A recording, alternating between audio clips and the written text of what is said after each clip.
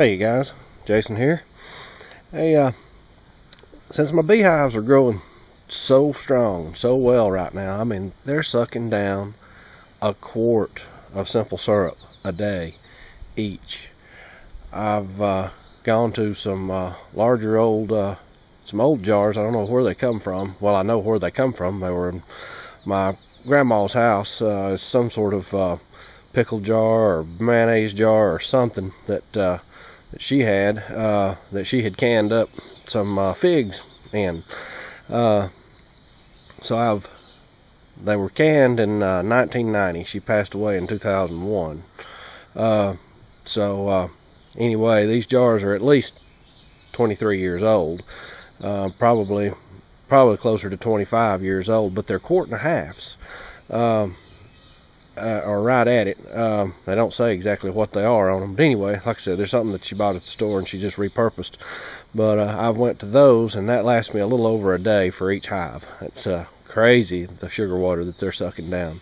But uh, I'm going to have to put another brood box on them. And the reason a lot of people don't do this, a lot of people will just uh, put an extra honey super in there but we have such weird winters here in Alabama. I mean, sometimes the winter is a really cold winter, sometimes it's a really warm winter. Last last winter, uh, the local beekeepers were uh, were having to open the hives up in December because it was just getting too warm. Uh, so uh, anyway, I'm going with the uh, double stacked uh, brood box setup instead of a, a extra honey super on top it just makes more sense. Seems like it'll grow a stronger hive uh, more brood more bees more better.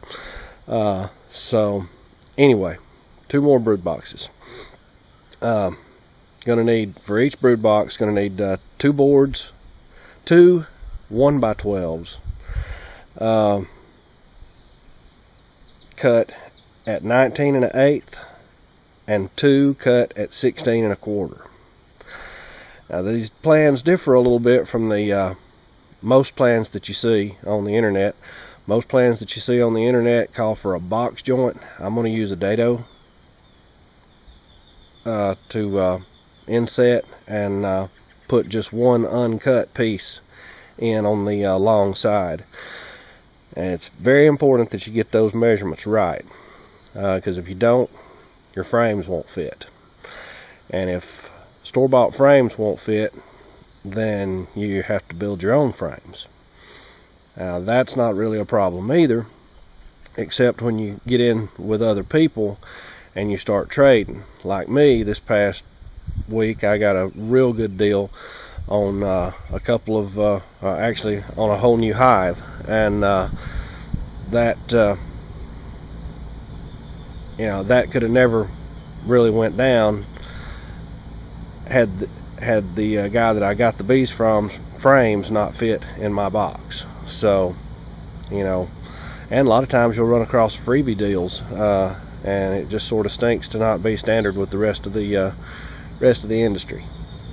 So, anyway, that uh, 19 and an eighth on the long side, and 16 and a quarter on the short short ends, uh, very important when you do the dado like I'm fixing to do.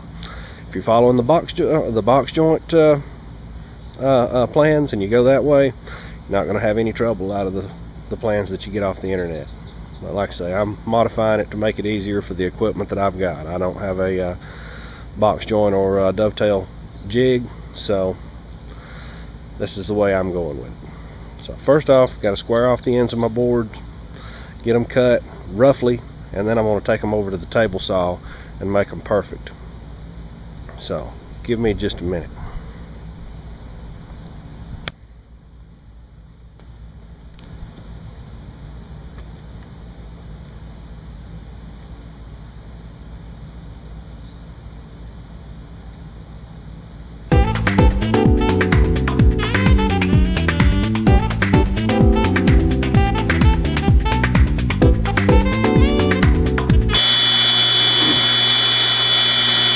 lovely day to be doing some carpentry work. Finally getting some rain on the garden, so this is a good thing. Uh, what I've done here is I've set up a little jig just to uh, make sure I got good straight cut edges on this thing. And uh, I'll run through run through all these boards, flicking them up real good. Alright, now that we've got them all squared up and looking nice and neat, we will uh, rip them down to the proper height. So I'll have to uh, reset my uh, little rip fence and uh, come back to you in just a second.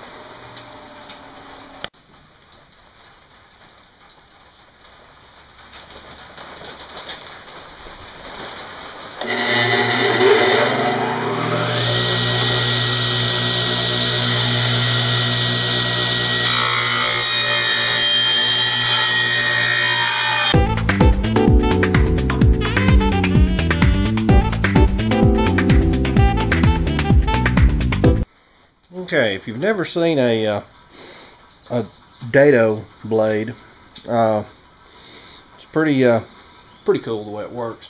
You got uh, two two main blades here, and uh, all kinds of little spacers uh, of different different varieties, sizes, and you can make grooves in wood just basically any any size any size depth groove that you want. You just uh, you get this little chart here and like right now I'm going to want to make a uh, 3 8 groove. And what it says to make a uh, 3 8 groove is the two blades and one chipper blade. So I won't need any spacers. Uh, this thing will make a uh, groove as wide as 7 8 inch. So it's a pretty pretty handy little little thing to have to go with your table saw uh, really uh,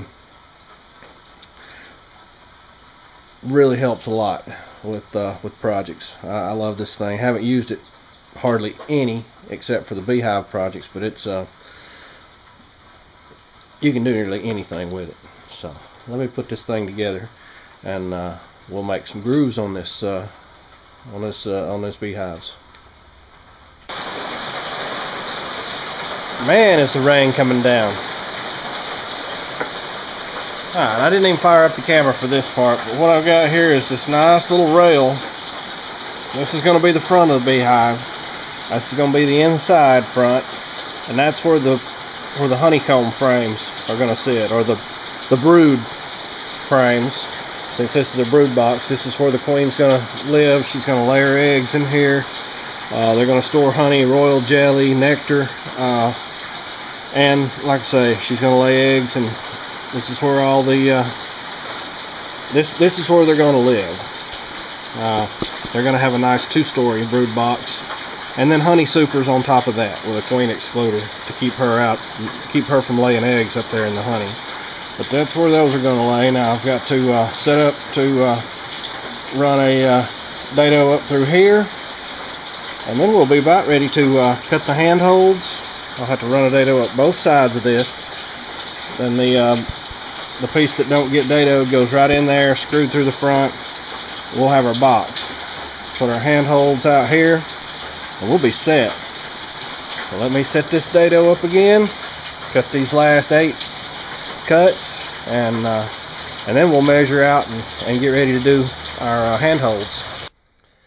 All right, we're to the point of making our handholds now, and. Uh, Uh, I built a little jig for doing that. Uh, the way my ramps are set up, it works best if my blade's at a 20 degree angle. If my deck is set at one and three quarter inch depth, uh, this will be the top of your box. Is where the handle's the deepest. Down here, as the ramps take the blade up, this will be where it's the shallowest. This will be towards the bottom of your box, or drawer, or whatever your uh, whatever you're making. You know, like I said, it's just a little spot for your hands to uh, get into like so and uh, give you a little grip. So let me uh, set up another one. I'll uh, I'll cut one for you. That didn't sound good, did it? I'll make one for you.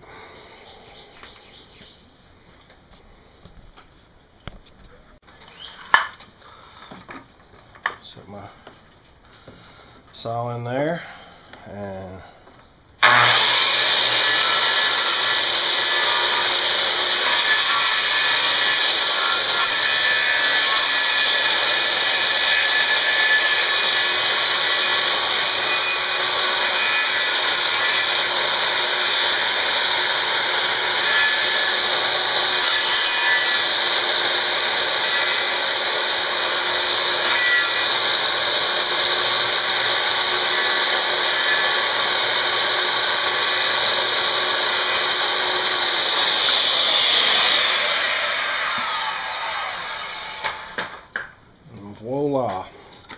handhold. So I've got uh, six more of those to do, and then we'll be gluing and drilling and putting these things together. So, see you in a bit. All right, the next little jig is a uh, jig for the screw holes. I just took this, split this up. It's it's set up actually to make the uh, uh, screw holes for a uh, medium super, or if you use the entire thing, the red holes are for hive bodies. And all you do basically, set it right down here on your uh, frame, take a pencil in the red holes, make a dot, flip it over for this side, take the red holes, make a dot. put your put your screw where the dot is. I always use a uh, drill bit make a pilot hole and then send in my uh, my screws. I use these little uh, inch and 5 eighths uh, Torx head decking screws. They work pretty doggone good. The last jig is the jig for assembly. And if you notice here I've got one of them half assembled. Oh Titebond 3 Ultimate Wood Glue. It's what you want to use on your frames, your bodies, uh, every part of your. It's an exterior wood glue. It's uh, it's supposedly the best. But uh, I've got one sort of assembled here. It's half assembled. That's a uh, hive frame and uh, fits perfectly. So it fits in there actually with a little bit of play, which is good because the bees will glue it down and put wax around it and everything else. So having a little bit of play is not a bad thing. Uh, what I've done here is I've made a frame, uh, or a, a, jig rather, that holds the entire thing in place. I've already took and uh, glued and screwed this end into place and uh, basically what you do this is perfectly square. You take your square and uh, you take your square and lay these strips of wood out just perfect to hold the thing in place. That way you don't have any trouble with it. Once it's all said and done and you got a perfectly square little box. What I'll do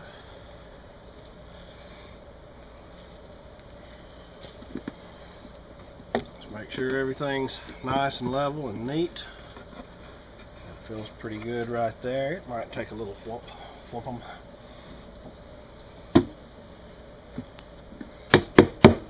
It a little flump them with the rubber mallet.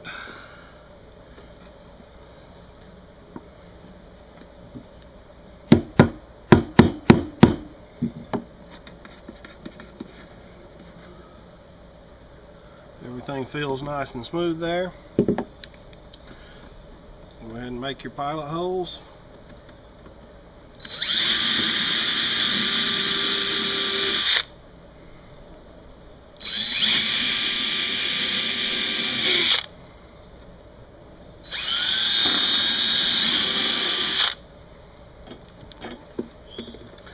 And I can't get to that bottom one, but that's okay. the other three being in place, that one's going to be perfect when time comes. Uh, uh, basically all I'll do here is uh, get this one, do it the same way, take it apart, put the uh, bond on it, and uh, they'll be ready for paint. So hopefully I'll have a couple of paints on it, a couple of coats of paint on it by uh, uh, by Sunday morning and Sunday evening. I'll be able to add these add these supers. So anyway, guys, that's it. Building hive bodies. Any questions, comments, or uh, suggestions? I love hearing suggestions from you guys. I've learned so much from just the comments parts on my videos. Had a lot of great comments on every video I make, and uh, you know, learned a lot because uh, some of you guys are actually professional uh, professional construction guys out here. I'm just a, uh, uh I'm just, uh, I'm just winging it. So, uh, like I say, suggestions, comments, hey, I'm open to it all.